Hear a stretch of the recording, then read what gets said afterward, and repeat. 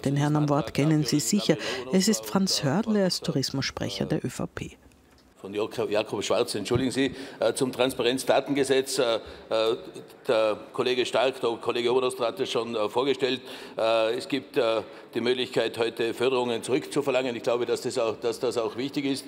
Und wir regeln hier mit diesem Gesetz der, den Informationsfluss von den Strafbehörden, von den Bezirkshauptmannschaften, Magistraten, dass hier der Informationsfluss auch zu den Fördergeberstellen, zu, der, zu den Fördergebern kommt und diese dann auch tätig werden können.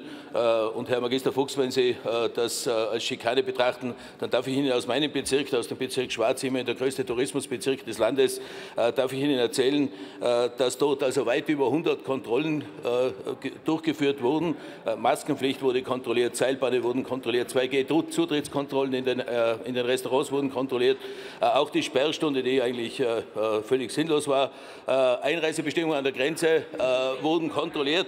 Und ich darf Ihnen sagen, über 90 Prozent Prozent der Betriebe gaben keinen Anlass zur Beanstandung. Das heißt, die Disziplin war enorm groß äh, und der Rest war bis auf wenige Ausnahmen beratungsfreudig.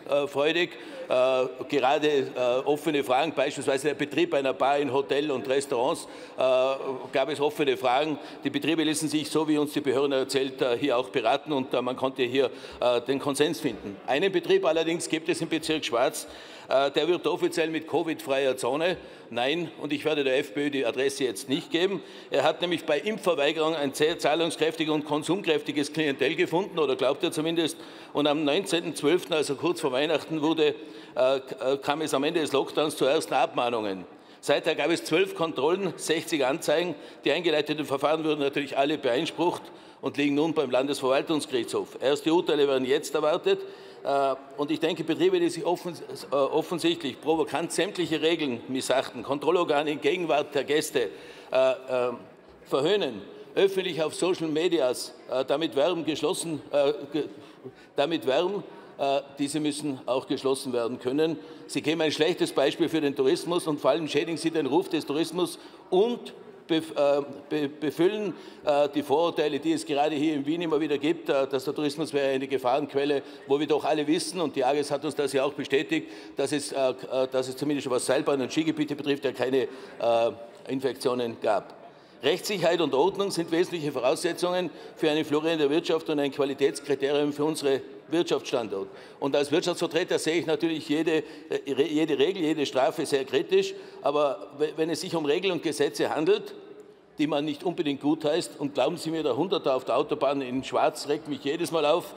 Äh, auch diese Sperrstunde hat mich aufgeregt. Aber wenn es die Regeln gibt, sind sie einzuhalten und zwar von allen einzuhalten, weil erfolgreicher Tourismus kann auf Dauer eben auch noch funktionieren, wenn der Gast das Gefühl hat, er ist sicher äh, und, und damit die Voraussetzung für Erholung hat. Und damit können wir dann äh, nur entsprechend, und deshalb ist das richtig, dass wir das machen.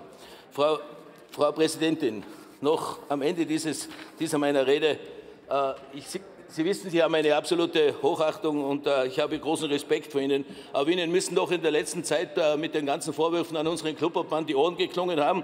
Äh, denn Sie als Ministerin, als Verkehrsministerin haben ja auch Personalentscheidungen getroffen. Ich denke nach bestem Wissen und Gewissen. Und Sie werden sich sicher zurückerinnern an die Frau Zechner, eine hervorragende Dame. Sie war Chefin der Seilbahnbehörde. Ich habe mit ihr sehr gut zusammengearbeitet. Aber die Bestellung dieser Frau Sechner hat dazu geführt, dass es, äh, dass es eine Beschwerde des Herrn Peter Franzmeier gab, nämlich den Erstgereihten in der Kommission. Sie wissen, der Herr Franzmeier hat am Schluss Recht bekommen und die Republik hat 320.000 Euro bezahlt.